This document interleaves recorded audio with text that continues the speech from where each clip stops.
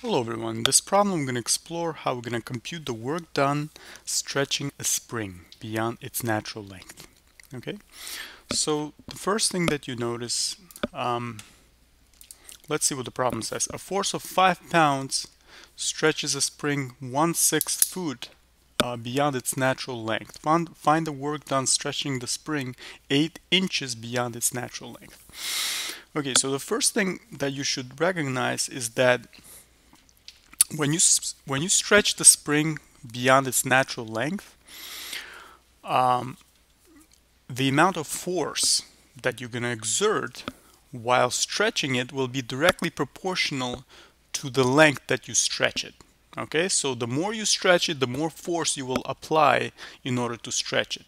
Okay, so it means that the force, okay, and we will label x as the um,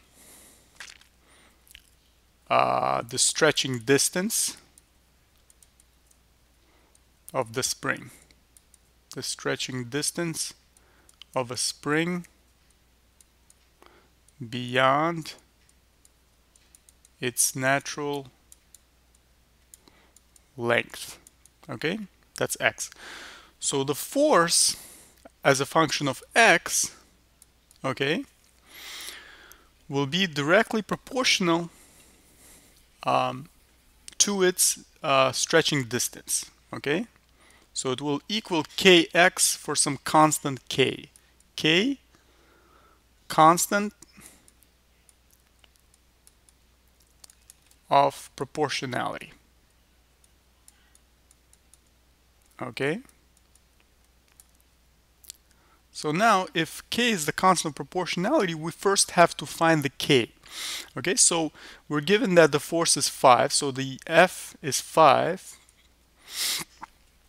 And the x will be 1 sixth. Okay, that's the distance. So it's going to be k times 1 sixth. So solving for k, multiplying both sides by 6, we get k is equal to 30. Okay. So our function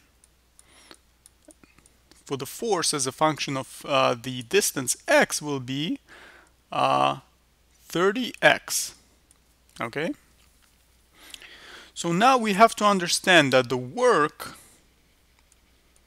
done um, stretching a spring will be equal to the integral okay with limits that will uh, determine the length of the stretch okay? So uh, we're gonna say just a and b for now. And in the integrand we're gonna have 30x right? Because that will be the force. And the distance of course and don't forget the dx the thickness. And the distance of course will be again determined by a through b so how do we determine A through B? We know that A is equal to zero, right? Because you will you will start from zero. Um, because obviously when, when it says the force of five pounds stretches a spring one sixth foot beyond its natural length, okay? So obviously starting from the natural length is the zero, right? So A is equal to zero. Now B is going to be equal to 8 inches from zero right? But we need to convert to feet, right? Um, so let's see what, what uh, 8 inches in feet are. So 8, 8 inches, we can convert it to feet using 1 foot over 12 inches. And notice that the inches will conveniently cancel out. So we'll have 812 feet which is equal to dividing both by 4 will be 2 2 thirds feet okay? So that's the distance basically beyond its natural length that you are going to stretch the spring okay?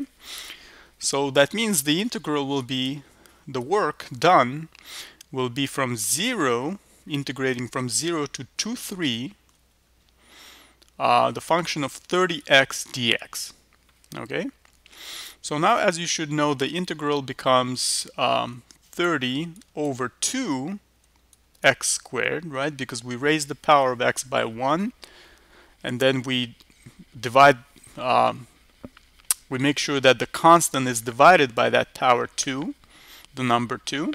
So as a result, um, we're integrating from 0 to 2 thirds. We're ready to determine the definite integral, but let's uh, simplify the constant. So we're going to have 15 x squared 0 to 2 thirds. So as a result, we have we can just evaluate the 2 thirds because 0 is just 0, right? We don't have to subtract it. So we, we have 2 thirds squared, and as, as a result, we have 15 uh, times 4 over 9, which gives us, uh, well, we can actually reduce 15 and 9. We can have um, 15 divided by 3 is 5, so that's 20 over 3 foot-pounds. Okay? And why pounds? Because force is given in foot-pounds, right? Because you're um, that's essentially uh, this uh, just shows you that force uh, the work is equal to the force times the distance right? Because the distance is uh, oops sorry about that. The distance is in feet okay? And the force is in is in pounds right? So obviously work will be foot pounds that's your final answer 20 over 3 so hope you enjoyed this tutorial. Hope you understand how to complete the work done using a spring exercise and I'll see you in my next video. Please subscribe. Thank you.